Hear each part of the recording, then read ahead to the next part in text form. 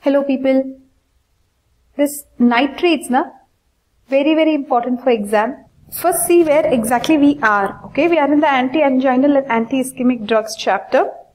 We have already covered what angina is, types of angina, when it happens, how do you treat it, what are the drugs available. In that we are here, nitrates. Okay. So nitrates, you have short acting, long acting. You have glyceryl trinitrate, isosorbide dinitrate and isosorbide mononitrate.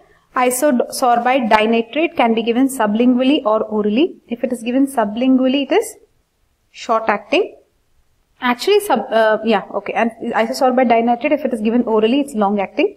However, I think uh, essential drug list has only isosorbide dinitrate sublingual tablets. And even isosorbide mononitrate sublingual tablets are available. Glyceryl trinate also sublingual tablets are available and injections are available. Okay. Now how nitrates act, uh, whatever we know so far, just let's take a recap.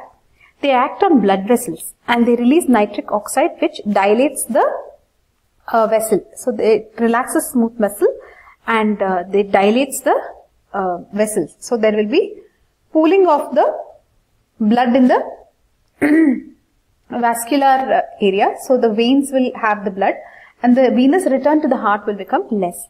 So the preload on the heart will reduce and some amount of afterload also will reduce because of arterial dilatation. Okay.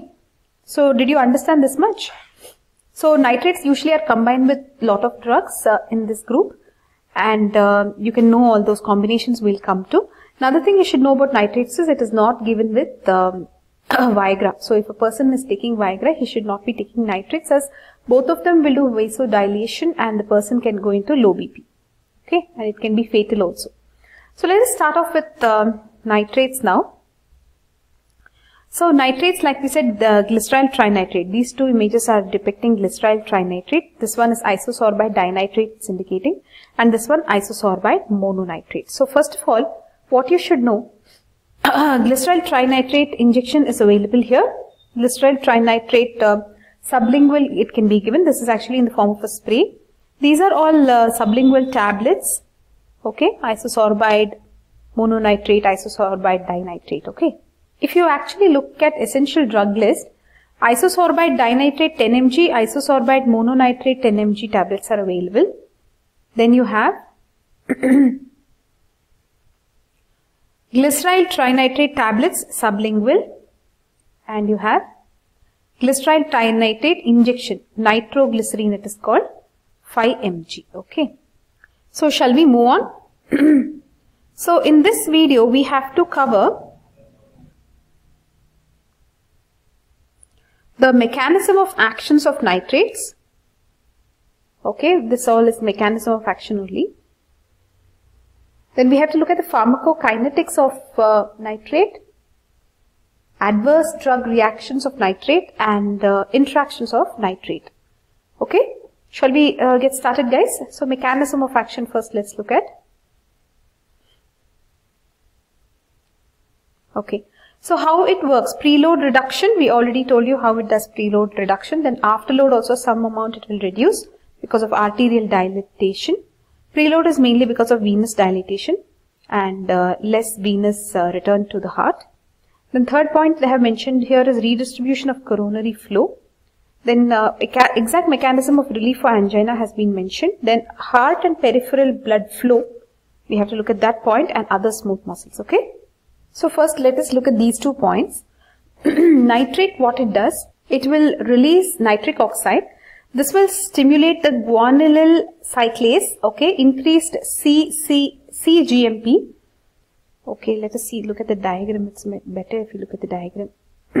this one from Shanbhag textbook. So nitrates, they get denitrated in smooth muscle cell. They release nitric oxide.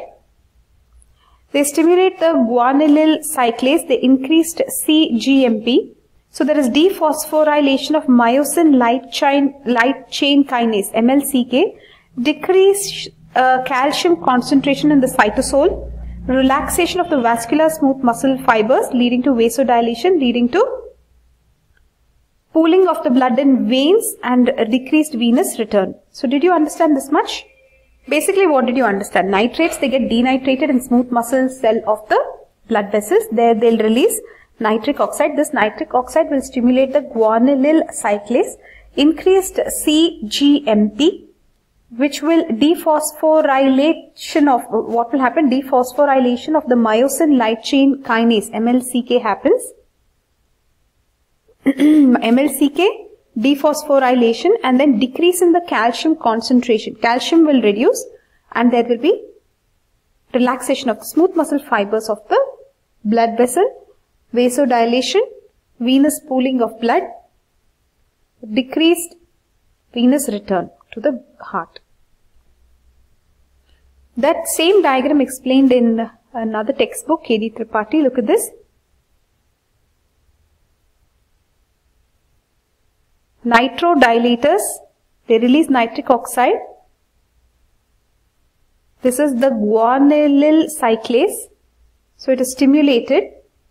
So there is increased CGMP because of which the MLCK gets dephosphorylated. So it is remaining dephosphorylated. So there is no contraction. Look at this.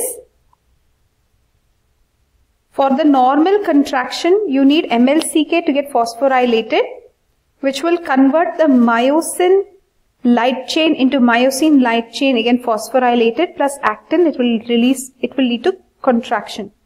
Now this phosphorylation cannot happen hence contraction cannot happen. So did you understand this? If you draw this diagram you will get a lot of marks. Please pause this video practice this diagram because this is a sure shot uh, question for you in the exam. So if you can read this it is very good. Let us see how our friend will tell this. Explain this Okay, so the nitrates, um, they will release nitric oxide which will stimulate the guanylyl cyclase and there will be increased CGMP. So the CGMP will not allow the MLCK to get phosphorylated. Uh, if MLCK is phosphorylated, it will convert the myosin into um, my, myo, uh, it will lead to myosin plus actin and contraction. So this step will not be allowed by this CGMP. CGMP also does one more thing. It will inhibit the calcium channel. So calcium cannot enter. As calcium cannot enter, there can be no calcium calmodulin and hence there can be no contraction. Okay. So two things it is doing. What are nitrates doing? Two things. It is um, blocking calcium channel and also it is oh, it is doing two two things it is dephosphorylating myosin light chain kinase. Okay, two things it's doing guys. What you should know here, it does not work on the heart, right? It works only on the vascular systems. So right here, no action on heart. Okay. Vasodilation by smooth muscle relaxation Okay. Other effect it has is other smooth muscles also will relax.